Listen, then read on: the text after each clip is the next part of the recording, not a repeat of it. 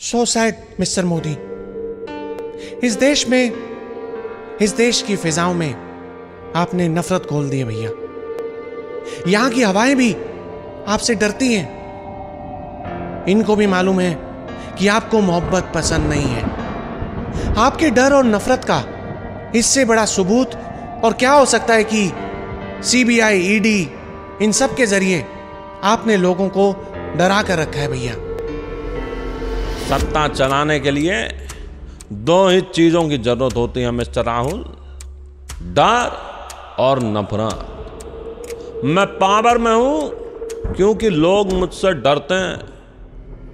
एक बात और जान लीजिए, मिस्टर राहुल, कि मोहब्बत और नफरत की जंग में जीत हमेशा नफरत की होती है।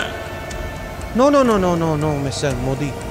ये आपकी गलत फहमी है कि नफरत में कोई ताकत होती है।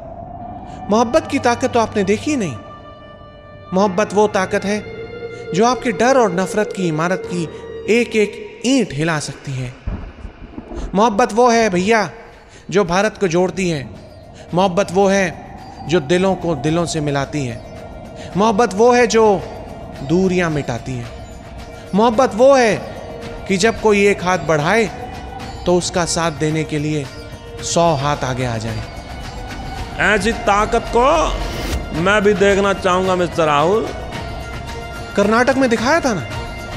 2024 में फिर दिखाऊँगा। आपकी नफरत के बाज़ार में सिर्फ़ मेरी मोहब्बत की दुकान का डंका बजेगा मिस्टर मोदी।